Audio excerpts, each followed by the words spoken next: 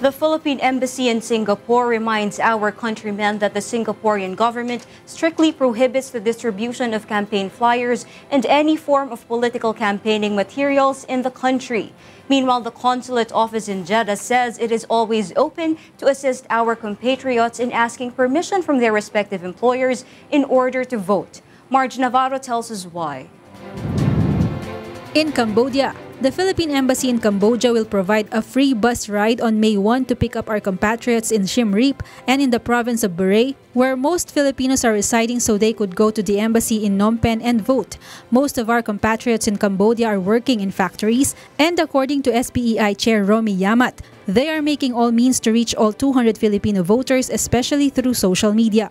In Saudi Arabia, the consulate office in Jeddah is open to provide assistance to Filipinos seeking permission from their respective employers so they could go out of work and vote. Pwede ho kaming magpadala ng sulat, tatawagan ho namin ang inyong mga kumpanya at ipaalam sa kanila na may ongoing na elections dito sa consulate. The consulate office reminds our countrymen that they will be open until 12 noon on May 9 to accept voters so they could have time for the printing of election returns. And in Singapore, Similar to other countries, one voter has aired her complaint at the embassy in Singapore because her name was not included in the list of voters although she is registered. Hindi ba nila pwedeng i-honor yung resibo? Kasi ito lang naman yung pruweba ko na naka-register ako. Sabi nila hindi daw kasi wala ako sa system.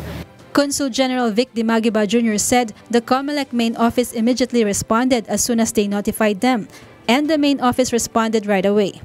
Counter-check nila, oh nga no, if ano, she was able to comply with the basic requirements and that she was not a previous voter or registrant here in Singapore.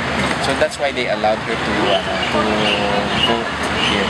So it was a honest mistake, but uh, ano, it's a, ano naman, it has been resolved. So she's able to be included in our list of voters and she will vote this coming weekend. Likewise, the embassy has reminded our compatriots to stop distributing campaign flyers and refrain from any act of campaigning for their candidates of choice.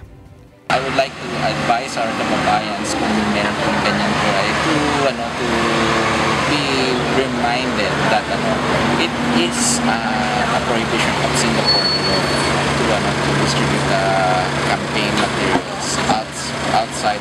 Uh, kuya, ate, huwag pong ano, uh, uh, i-risk po na yung ganyang klase na makita kayo ng Singapore Police Force po na nang distribute ng mga campaign paraphernalia because uh, it's a violation of their laws.